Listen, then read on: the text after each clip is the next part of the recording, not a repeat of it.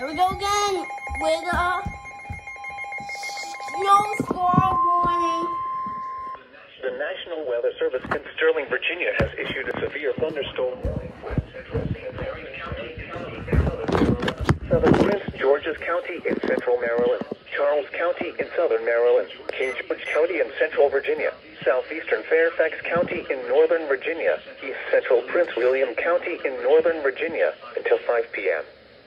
At 4:21 p.m., a severe thunderstorm was located near Dahlgren, moving north at 40 miles per hour. Hazard: 60 miles per hour wind gusts. Source: radar indicated. Impact: damaging winds will cause some trees.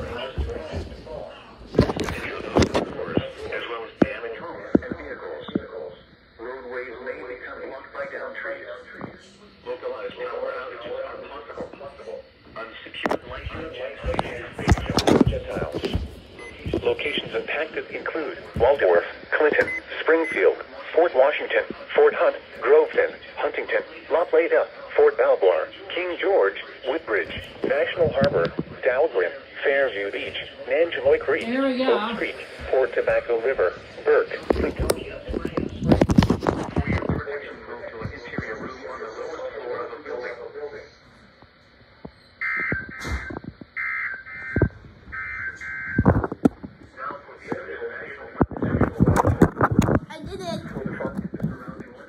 video. showers and scattered. Yeah. Did it a half hour later. Hold on, let me turn the sky off. Over here. A special marine warning remains in effect until 5 p.m. That's all I did. That's all like I right before the meeting.